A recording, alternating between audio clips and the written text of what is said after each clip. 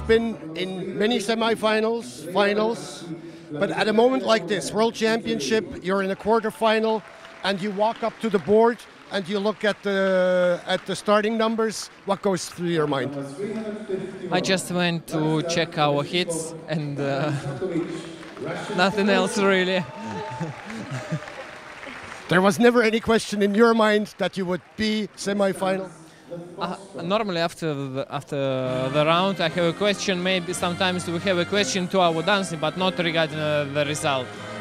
There, uh, it's something which is not uh, under my power. You know, yeah. Okay, thank you very much for giving us this time now and good luck for the continuation of the competition. Thank you.